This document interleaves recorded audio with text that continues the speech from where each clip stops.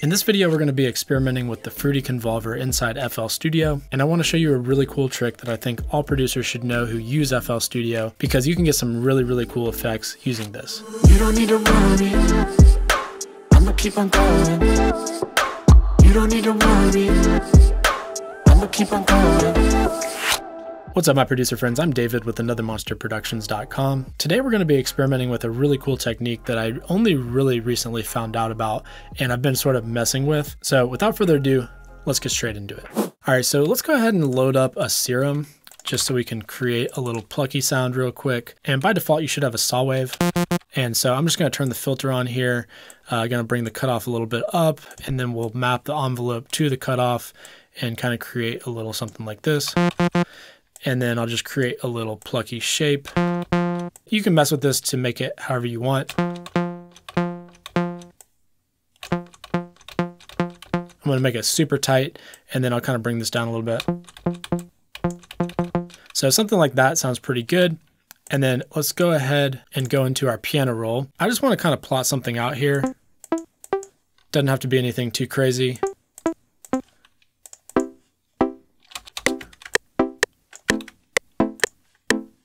So something like that sounds pretty good.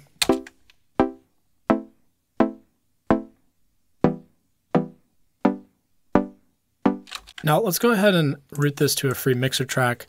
And what I want to do is add the Fruity Convolver on here. So let's go ahead and do that. Basically what this is is a reverb, so we can kind of listen to it. Sounds pretty nice, pretty wet. But what I want to do is go into my packs and we can actually, within the Fruity Convolver, I can load any sample I want into this area, and we can basically use that as the reverb. So we can start to get all sorts of crazy effects. For example, if I go into my Monster Samples 2020 Trap Edition, uh, I can go into one shots and I have a bunch of effects here. So I could do, let's try, I don't know, this knife. Let me drag it in.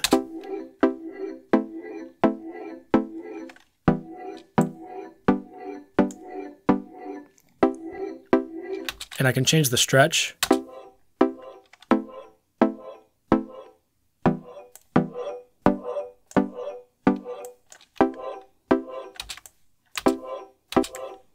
Yeah, I like that wide.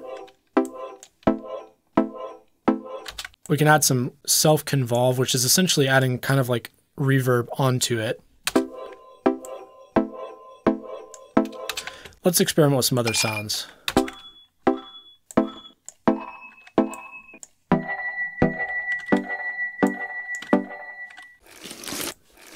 Try sweep.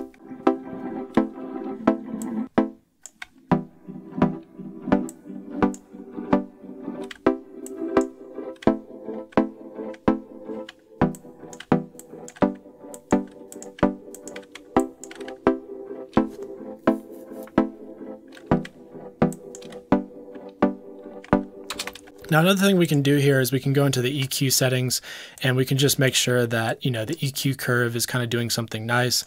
So we can kind of cut out some of those lower frequencies like this. Or, you know, if we wanted to, we could boost up a certain frequency like this.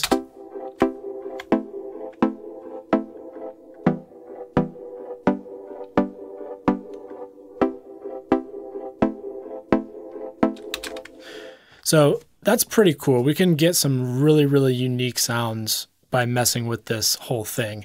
Now, another thing that sounds really, really cool is if you add like a vocal chop or something onto it.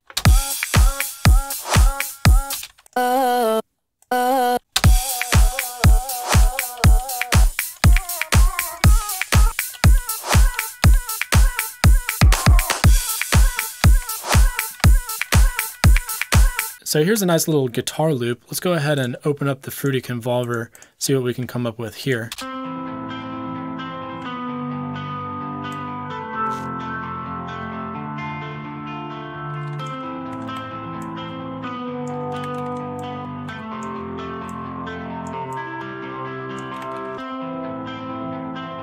Take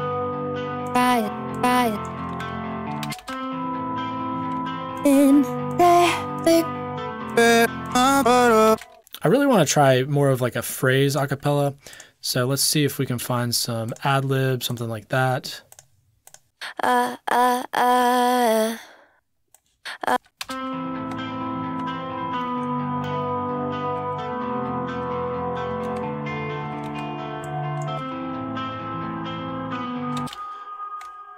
Here, let me go ahead and get rid of some of this stuff.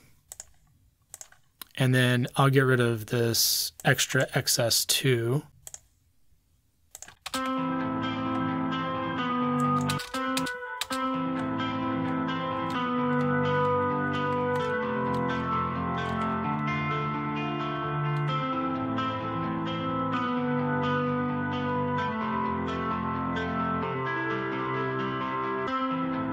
So that's pretty cool. Uh, kind of adds some like extra ambience. Let's try another guitar loop. This one's a little bit cleaner sounding. I'm going to add this uh, pop vocal loop on top of it.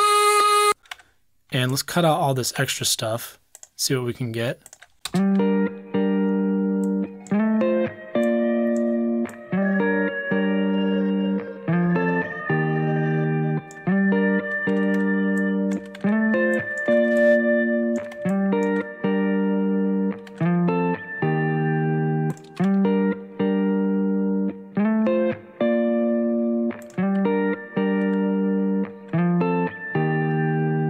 Let's try this on a drum loop.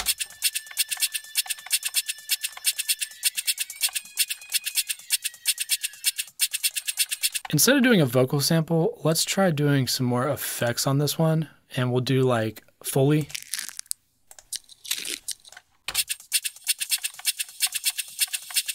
Probably too much, so let me cut out some of this. Uh, we'll just cut out this section here.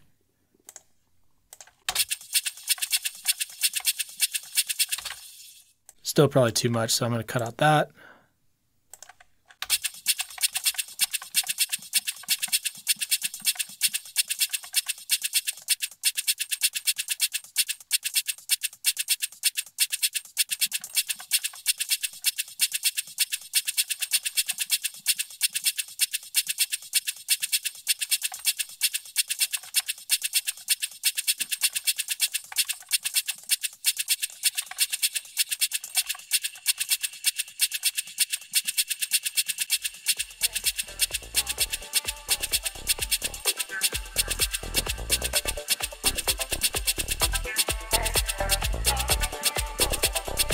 So anyway, you get the idea. There's a lot of really cool things that you can come up with messing with this. I don't want to make this tutorial too long, so I'm going to go ahead and wrap things up. If you liked the video, please go ahead and hit the like button. If you're new to the channel, consider subscribing. Don't forget to hit the bell notification. That's going to let you know anytime I release videos in the future. Right now, I'm trying to do a video every weekend, so those usually come out on Friday or Saturday, uh, sometimes Sunday. If you're new to music production or if you're struggling with anything production related, I do offer one-on-one -on -one private lessons, which you can sign up for on my website. So I'll be sure to leave a link link in the description of this video if you guys want to check that out. And I will see you guys in the next video.